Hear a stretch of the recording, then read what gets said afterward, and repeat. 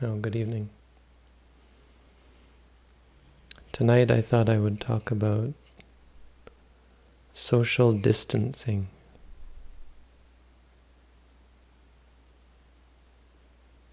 It's a, a buzzword these days as people are concerned with the spread of sickness. So there's a call for people to engage in social distancing. I think it's a unique opportunity because we have so many people in the world engaging in a similar activity that may be quite different from how they normally act, how they normally behave. And moreover, an activity that is very close to the sorts of things recommended in Buddhism. Because social distancing is a way of looking inside. It's a way of focusing your attention on your own being. And so it goes quite well with mental development and introspection and developing understanding of the nature of one's own mind. If done, if done well, and so of course, it's not to say that just by practicing social distancing you somehow become wiser and understand yourself more. And so I thought I'd talk a little bit about how Buddhists engage in social distancing, or how one might engage properly in social distancing for for a, for beneficial results, uh, for for it to be a beneficial activity. So it's not to say that one should also always be socially distant. But it has to be acknowledged, and Buddhism does try to help people to acknowledge that if we're constantly caught up in society, we'll have very little opportunity to understand ourselves, very little progress in understanding the nature of our minds in terms of what is causing us stress and suffering and how we might change that. So as with all things, social distancing is in the physical realm. We're not talking about becoming mentally distant. there's no call in the world right now for people to be emotionally or mentally distant from each other. No, we're talking about something physical, and so on the face it actually doesn't have anything to do with Buddhism. But as with all things, it uh, it all things physical, the quality of it depends very much on the state of the mind as one performs the act. And moreover, the performing of certain physical acts can facilitate the evoking of certain mind states. So when we do walking meditation and sitting meditation, you might say, well, it's just physical. What use is that? But by engaging in such a simple activity, we give the mind an opportunity to flower, to, to blossom, to uh, give to to do its work because it's not preoccupied with complicated movements.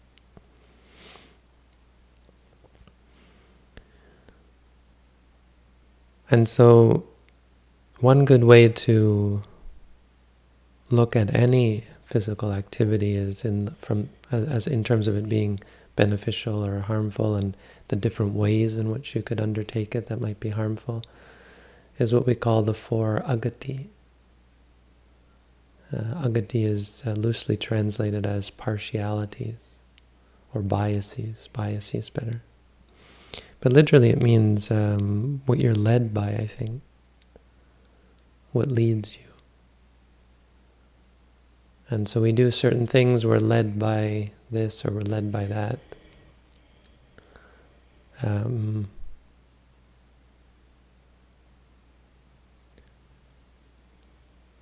And there are four reasons why one might do something, what leads one, or what, what one has uh, gone over to as a reason for doing something physical. The same goes, of course, with speech. Anything in the in the physical realm. And these four are chanda. We do something based on uh, desire or liking it, or, or, or liking in general. Dosa, we do something based on anger. Bhaya, we do something based on fear. And moha, we do something based on delusion. These are the four agati. They're all they're all bad reasons to do something. So we'll talk about them and then we'll talk about some of the right reasons to do things or how to make things, especially things like social distancing, really beneficial. And to avoid making them problematic because something so extreme for many people as social distancing can have debilitating effects, can have negative effects. So chandagam, chanda, chandagati is uh, partial, or the bias of partiality or of, of liking. And this encompasses all kinds of desire, all kinds of greed. So people might social distance because uh, of stinginess, miserliness. Misers become very distant because of people asking them for for donations and gifts and so on, loans often. I met a woman in Thailand when I was living there. Um, I met her a few times. Once we went to, I was with Ajahn Tong quite often, my teacher. And she would, every time she came, she was not, she was very rich. And she was quite exceptional. I've never met anyone like her everywhere she went, when she met a monk especially, because she had great confidence and great um, respect for the monastic life, she would always give something. I remember going up to uh, to, to sit in on on the, the reporting of the meditators, the meetings with between the teacher and the meditator, and she was there, and she saw me come up, and she had just been giving out uh, gifts to the monks, and she saw me there, and immediately she thought, and she looked in, and she had a pen in her purse. She looked in her purse, and she said, "Here, I would like to give you a gift of a pen." But for most people, it's not like that. She, she, um, we went to her house once, and she was talking about all the many uh, requests for donations that she would get. She would get letters and letters every day from teachers and firefighters and police and so on. Everybody asking for a donation. And so for most people this becomes too much. Rich people, it becomes too much. For for ordinary people as well, we become quite distant if we think people are going to, or if people are constantly asking for loans or gifts or so on. And this is problematic. You, you, you, to some extent, you have to protect yourself if people are greedy and, and they're clingy or so on. Uh, but it can't be because of your own greed. It has to be, of course, because of something more beneficial. For some people, they get very greedy and, and therefore keep to themselves because they don't want to share. For things like social distancing, for most people it's not going to be like that, but the results of having to seclude yourself for many people are quite devastating. Um, lack, loss of livelihood, for students, loss of education. For some people, it can lead to great stress, having to be in close quarters with other with others. So you call it social distancing, but in fact, it puts you close to people who you might have a hard time being close to, your family members, sometimes you might not get along, siblings, even children with their parents and so on. But in some cases, it can, I think, perhaps be an excuse for increased uh, engagement in sensuality. So for many people, students, a chance to stay at home and not have to go to school might seem like a chance to just play games all the time or watch television all the time. For some people, it might just be a, a means of relaxing, of being lazy. Of, for some people, driven by stress, the stress of of all the other reasons, all the other problems associated with um, the pandemic and sickness and so on. Uh, it can drive them to increased entertainment and things like binge eating and, and so on. And as a result, there's a lot of problems that come from this. As a result, um, there will be increased uh, irritability. You know, for someone who is constantly engaged in entertainment and, and enjoyment of sensuality, they have the increased capacity of becoming angry, irritated, annoyed. Uh, it leads to fighting among siblings and families and loved ones. So a big reason perhaps why people engaging in this sort of social uh, distancing are having stress, having to stay at home as a family is because of their incapacity to be content, um, to be at peace, and so constantly fighting over what television program we're going to watch, or uh, fighting over belongings and money, fighting over all sorts of things that should bring, are supposed to bring pleasure, and instead bring great suffering. So when engaging in, in this sort of activity, you have to be mindful of the sorts of things like sensuality and craving and and so on. You have to because uh, it it might be seen as a license or an opportunity to increase in our our activity, our engagement in entertainment, and so on, which is problematic. The second reason, um, based on anger, so social distancing based on anger might easily be carried out by someone who is racist. You'll see people who don't want to associate it with people of other races or skin colors or even nationalities and languages and cultures, religions. Religion's a very common one based on anger or hatred, uh, ethnicity, hatred of other ethnicities.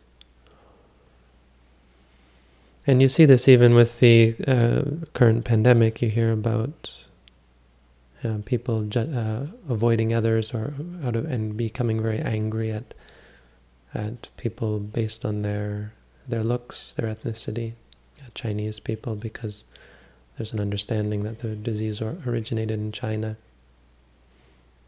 And so there's uh, an increase in racism, as I understand, relating to Chinese people.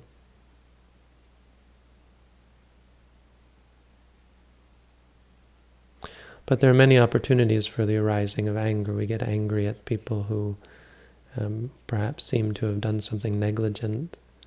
You get angry at people who don't practice social distancing.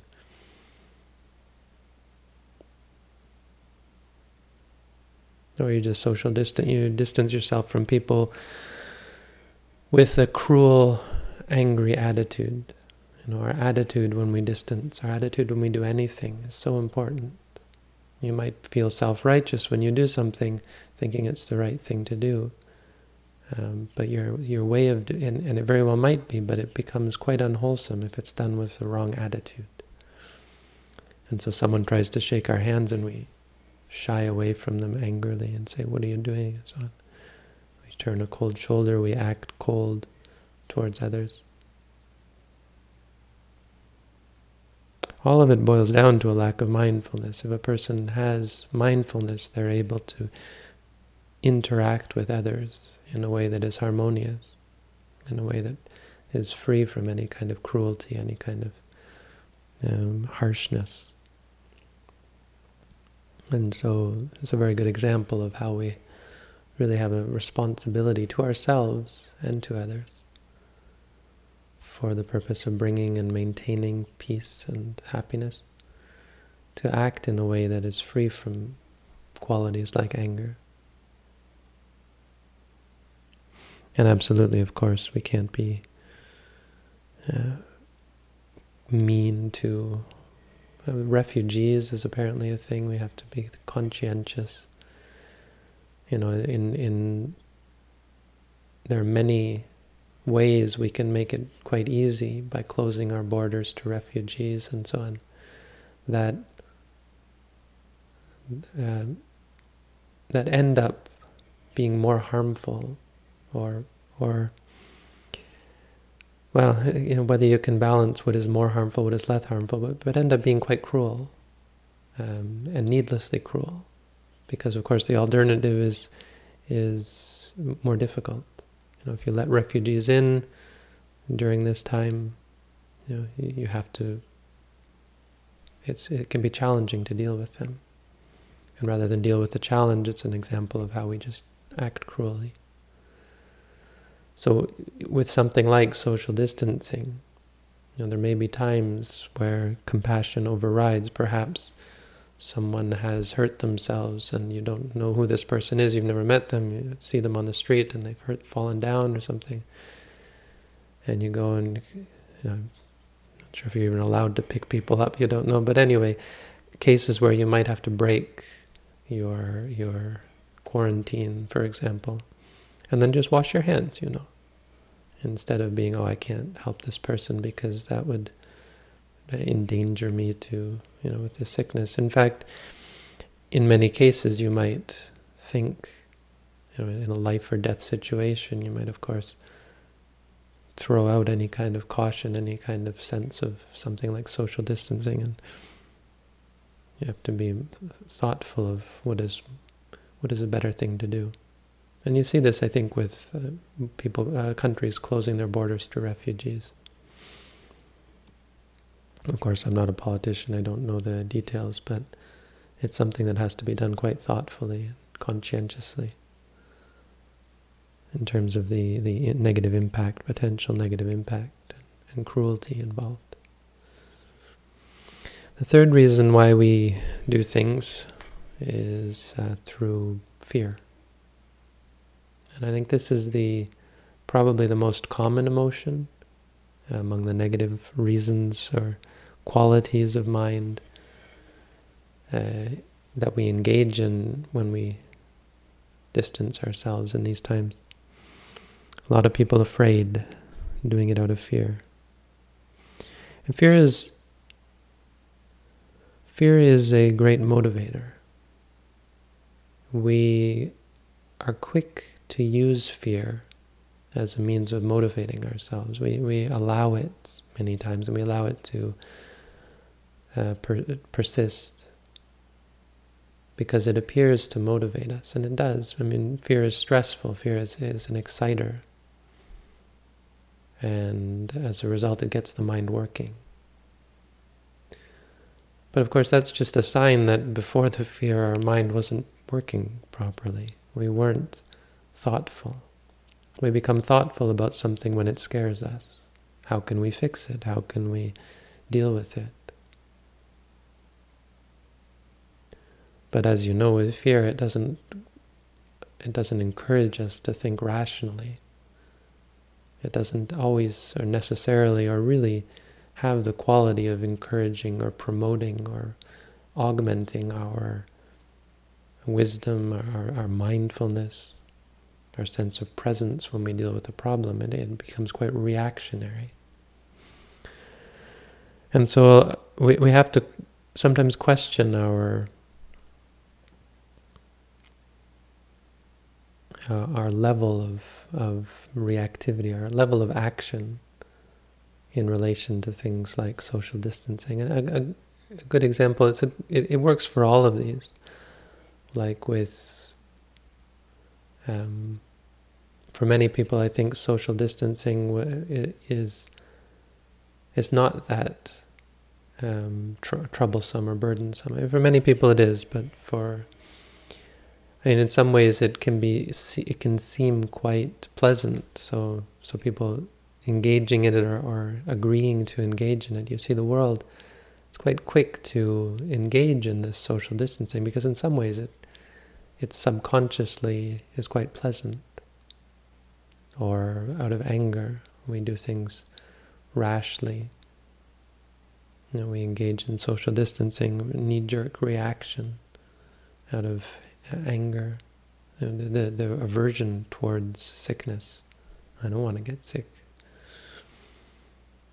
You know, so it can be irrational. We haven't thought about it. We haven't thought about what is the, the real benefit, and so our actions are often irrational. And fear is the same. We do things. A lot of the fear going on has caused people to do things that are, in many ways, unhelpful. And sometimes it's unhelpful without realizing. You do things thinking they're going to be helpful, like wear masks or so on.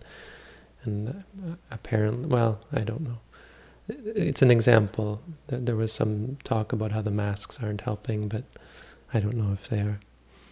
But cases like this, people buying great amounts of toilet paper, for example, was a big thing. You know, just mass hysteria or mass panic. And sometimes panic can help you. You know, you did something and it, it, it physically, maybe you did get all the toilet paper in the store, but it can be quite unwholesome and unpleasant because, of course, you, other people then who need an ordinary amount of toilet paper can't get any.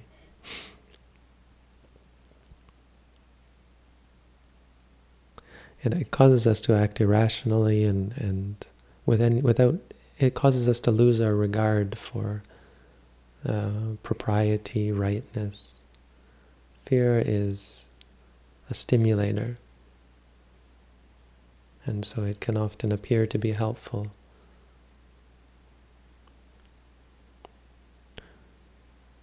But we can see from the results of, of hysteria, of fear, that that it in fact takes us away from a sense of calm, clear, measured understanding of the situation. The fourth reason why we do things, why we might do something, is out of delusion. And so something like social distancing, as with anything, we have to consider. We have to ask ourselves, ask ourselves, is it proper to be doing, and so on. People who engage out of delusion might be just be doing it because other people have told them to do it. You know, people engage in, in seclusion out of arrogance and conceit. Thinking you're better than someone causes you to distance yourself. But with something like social distancing in this, this case, the pandemic,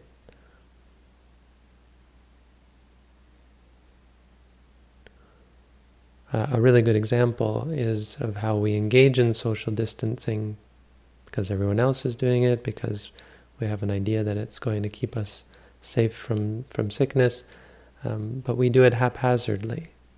You know, we do it with a disconnect from reality. You know, we often do this, the herd mentality. Everybody's doing it, okay, this will keep me safe. The thing about wearing the masks and so on. And then we engage in other activities, which of course are, are which are, happen to be, um, you know, nullifying any benefit that we might get from social distancing. Like we still we don't shake people's hands, but we touch doorknobs in public places. And then we pick our nose or we scratch our face or so on. And so um, it's an example, or it's, it's an example that shows the difference between being mindful and being unmindful. The unmindful state is one that uh, causes us to engage in activities that are potentially harmful to ourselves, simply because of the darkness, because of the lack of clarity, the lack of awareness. With the mindful of delusion, we do many things that are contrary to our, our intention. So we engage in social distancing, but um, again, we, we, we take produce from the grocery store and without washing it, we put it, eat it, to put it in our mouths, and so on. And just doing things unmindfully, like picking your nose after you've, you know, whatever, sucking on your thumb, or something that causes us to negate any benefit in the worldly sense of uh, something like social distancing. So ultimately the right way or the right way to engage in something like this, social distancing, is of course with mindfulness, you know, with, with wisdom. And so it's important that we learn about why we're doing everything that we do. When we do something like social distancing, we learn about it, we study it. It's a kind of wisdom. It, it shows a sort of mindfulness, our um, deliberate engagement in, in understanding what it is that we're doing so that we do it properly. You know, the internet is a wonderful thing now for information, our capacity to learn about the proper ways to do things, the benefits of certain things, and, and how to make things beneficial in a worldly sense. We have to think about um, how we're going to engage in this sort of social distancing, what we have to plan out how we engage in the world and so on. But most importantly, we have to be mindful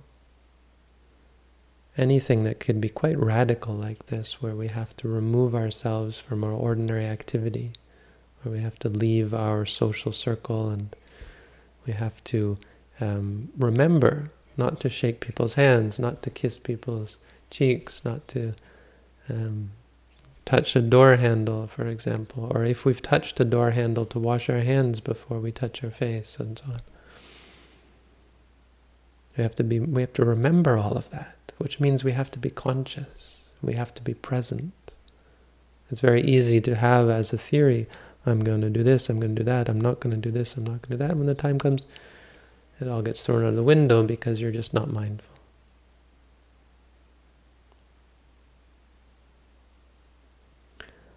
And so, above many, above most things, most especially, when you engage in something like social distancing. In Buddhists, we have a, great uh, wealth of experience relating to things like social distancing. You, you, you, you absolutely need a proper state of mind.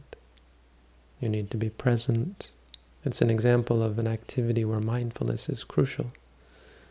Because, of course, when you're alone, you'll you'll drive yourself crazy if you're not mindful, if you're not able to be present, or you'll be driven to distraction.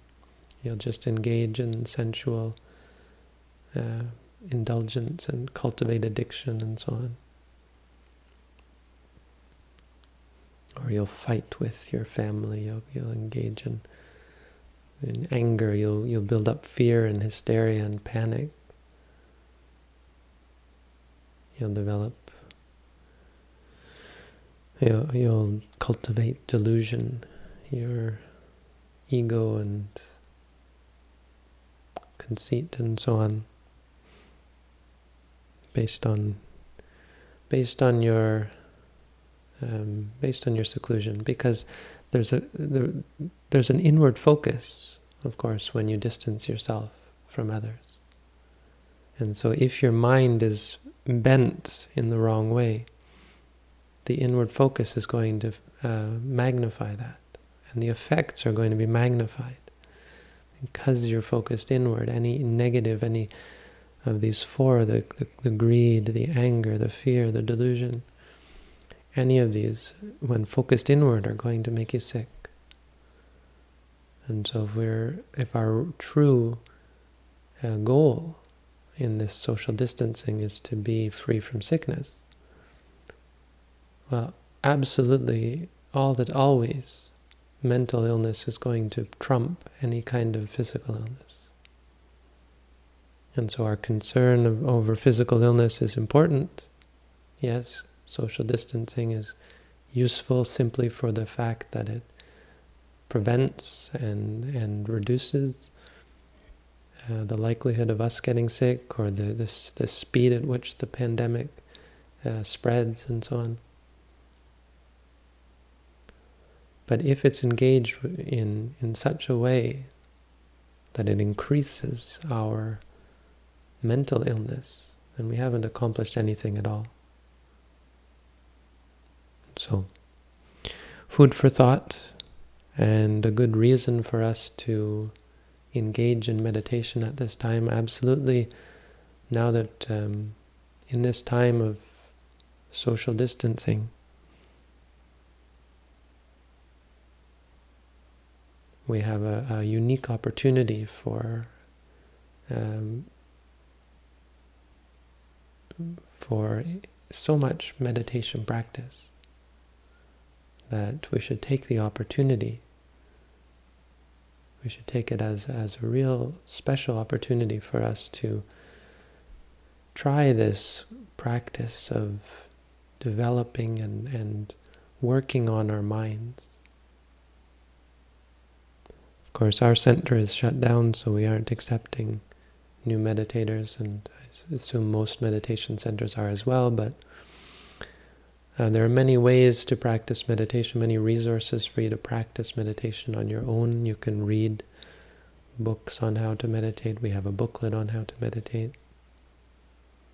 Um, and, and we also have a stay-at-home course that we all have had for a long time, where people who practice at home, they do at least an hour of meditation a day, and we meet, we, we, we talk on, on a voice call once a week and give a new exercise because of course the booklet that we have only gives the basic exercise so every week we give you a new exercise adding to the challenge and, and pushing you further to, to train your mind to see clearly, to be present and to understand yourself.